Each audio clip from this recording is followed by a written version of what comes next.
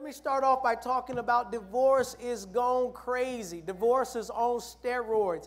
Divorce is everywhere. God does not want you to get divorced. Covenants were made by God. A covenant is what takes place when you exchange vows. With Abraham, it was the circumcision that was given as a sign of the covenant. With Noah, it was the rainbow that was given as a sign of the covenant. A lot of times people shake hands or they sign the contract, amen, as proof that two people have entered into an agreement, into a covenant, um, forsaking all others in sickness and in health, for better or for worse, for richer or for poor. God is a witness between those vows, and the Bible teaches us it's better to vow a vow than to be slack to pay it. When you give your word, the devil himself is going to throw everything at you to try to destroy the foundation that you're laying, the covenant that you're building. Thank God for the blood of Jesus because in the Old Testament, breaking covenant was, was uh, uh, uh, uh literally penalized by death. The punishment was death. When you broke your covenant, put them to death.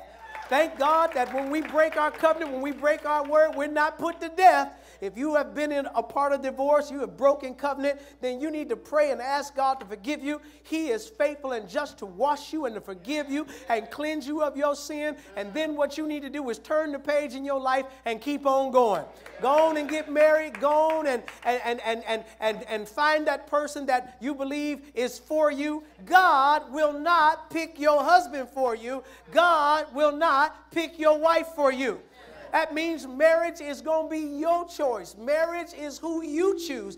The Bible tells us, my God, that to marry whom you think best. And the key word in the text is think. There are a lot of people that get married and they don't think. You got to think about it. You got I mean, I know she looked good today, but what's she going to look like 20 years from now? You got to think. You got to use your mind. You got to put some investigation into it. You got to do some reconnaissance. You got to do some due diligence if you're going to cause your marriage to last let me tell you, there is nobody. I don't care how y'all still giggling at each other, smile. You got smirk today. You copping a little, you little touchy, touchy feely right there, even in the house of God, while the other person on the other side of you is madder than 15 dogs because they sitting there wishing they had somebody, and it's wonderful right now. But I'm telling you, there are some roadblocks up the road. There are some chuck holes. Have y'all hit any chuck holes this this winter yet? There's some holes in the road. They will tear your marriage up. They will cause your oh, oh you riding on. You got a flat tire. You will bust the whole right front end of your vehicle, amen, dealing with the stuff that we deal with in this life. They're not happy in their marriage, so they watch TV so they can try to be happy through some lines that somebody wrote and actors that are acting it out. Watching this crap on TV and it forms these ideals in your mind about what you believe is supposed to be going on in your reality. And you want your husband to do like they do on TV. And you want your wife to be like they are on TV. And you don't understand this is all smoke and mirrors. This is all fictitious. This is phony. The finest women in the world divorced. Not once, not twice, three times. Why, why are the reasons? What are some of the reasons that things don't last? You know, building a marriage that lasts. Why don't they last? Let's talk about the runner, the sprinter. Uh, uh um, he doesn't last because he burns out. Everybody say burn out? Burn. You don't want to get burnt out in your marriage. Marriage is not a sprint, it is a marathon. Therefore, you must pace yourself. Keep it real. Keep it real.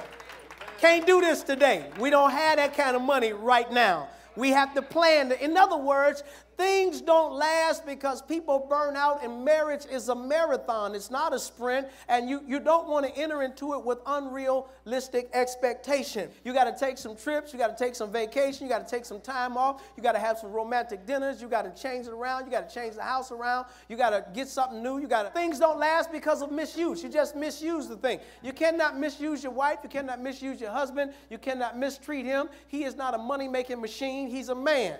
She's not a sex machine. I know you sing the song, but she is a woman is you must carve out time carve out space amen and push stuff back out the way whether it's the kids the job the church whatever and save your marriage temperature. Some of your marriages, you're running hot, some of you running cold. You're just not at the right temperature. You got to understand his temperature, her temperament, her temperature, and you got to learn how to keep it on chill. Most times, marriages will last when there's peace around. When y'all got a lot of hell, y'all fight all the time. You know, y'all always talking about guns and knives and don't make me crack you upside your head. I mean, the you know, the, police done been the police. Oh, okay, the Robinsons is calling again. We gotta go over here and see them. Marriage is hard work. Yeah, and there are those that are single. that say, "Oh, I want to be married." Oh, do you want to climb Mount Everest too? Are you also interested in learning Chinese trigonometry?